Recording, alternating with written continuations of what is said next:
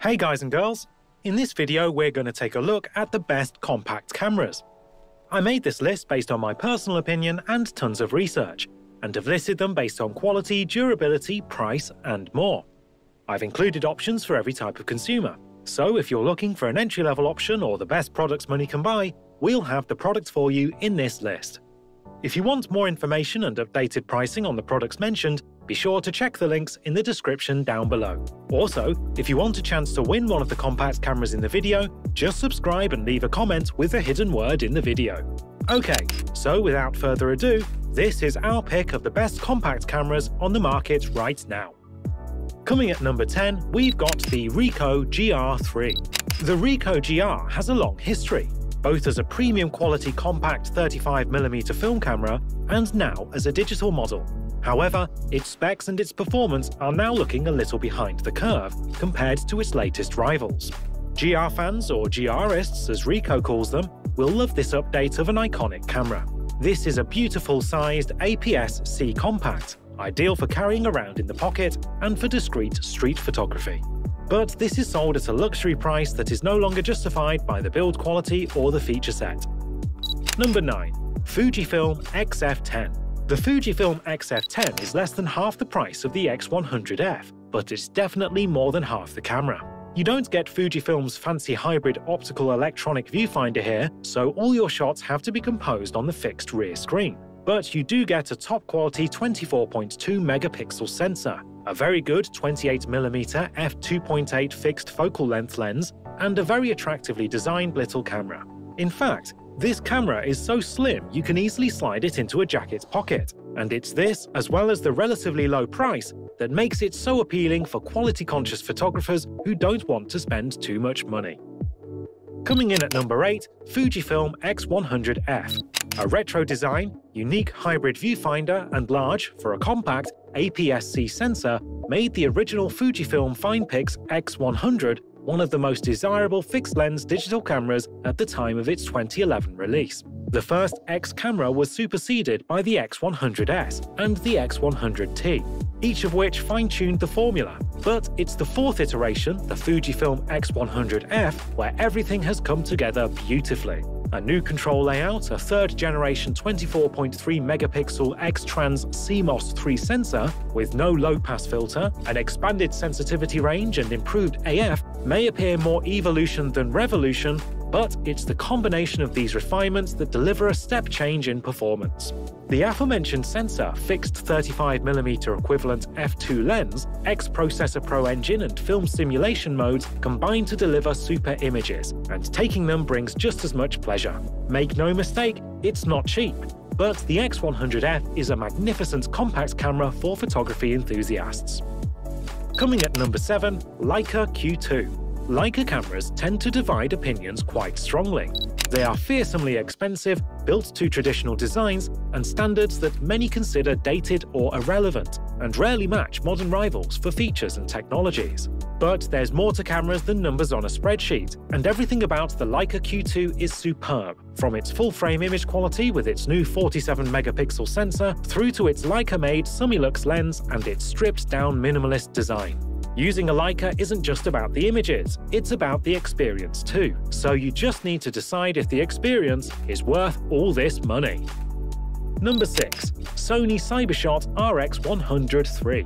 Sony has a strategy of keeping older versions of its cameras on sale for a long time, with prices that keep on going down. So, although the RX100 III is four versions behind the brand new RX100 VII, its specs are still pretty good even by today's standards.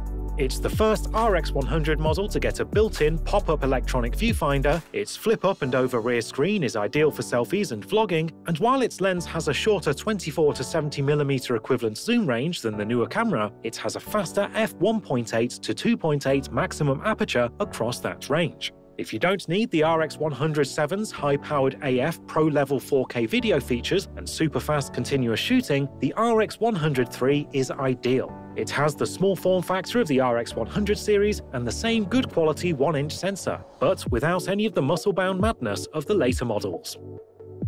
Coming in at number 5, Sony Cybershot RX100 VII. The Sony Cybershot RX100 VII is mad on any number of levels. The plus points include its impressive 24 to 200mm zoom range in such a small camera, its pop-up electronic viewfinder in a camera that looks too small to have one, and its good-sized 1-inch 20.1 megapixel sensor. It can also shoot 4K video, which is good, but then it all starts to get quite strange. This camera has a super high-tech 357-point phase detection autofocus system, a 20 fps continuous shooting speed, up to 90 fps in single burst mode, and 0.02 sec AF response with real-time AF tracking. It also has Sony's S-Log2 and S-Log3 video modes for high-end video recording and color grading, all in a pocket-sized camera. All this power is great and deeply impressive, but it pushes up the price considerably and to some might seem out of place on a camera like this.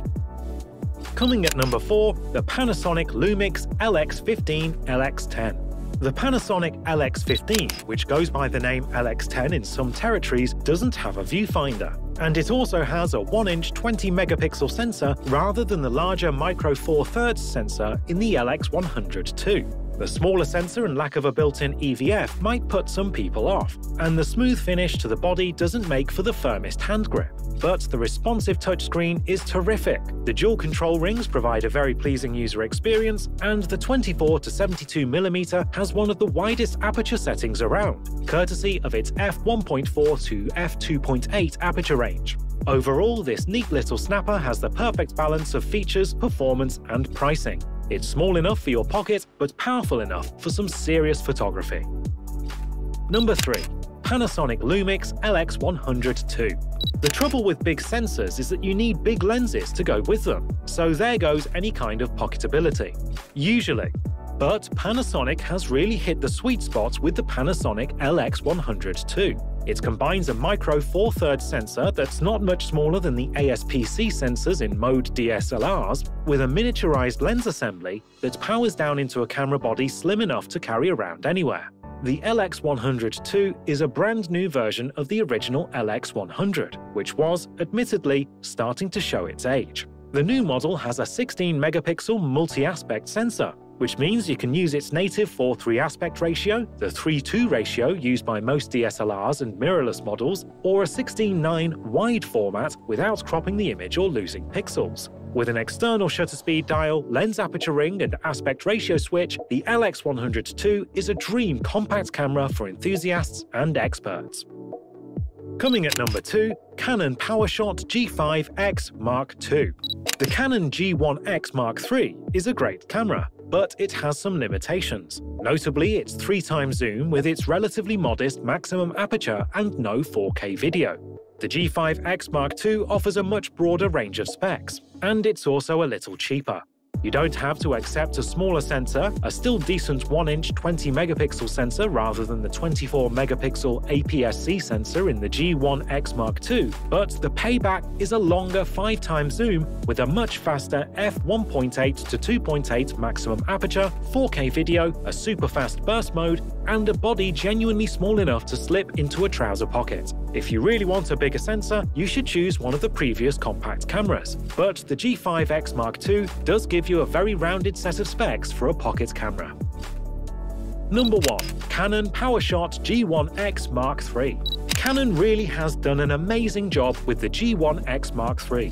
Yes, it is pretty pricey for a compact camera, but it houses pretty much the same 24-megapixel APS-C sensor in its slimline body as you'll find in Canon's EOS 80D DSLR and its EOS M mirrorless cameras. This is matched up to a zoom lens that's even more amazing, because it covers a 24 to 72 equivalent focal range and can still retract into the camera body when you're not taking pictures. It's true that the maximum aperture does drop off considerably as you zoom in, from f2.8 right down to f5.6, but you get this with compact DSLR and mirrorless kit lenses anyway. The G1X Mark is pretty pricey, but right now it's pretty much in a class of its own for a premium compact camera with zoom. That brings us to the end of our review and buyer's guide for the best compact cameras. Hope to see you in the next video. Let us know in the comments what is your favourite one. And if you liked this content, don't forget to subscribe and get notified when we launch new videos. Thanks for watching. Peace!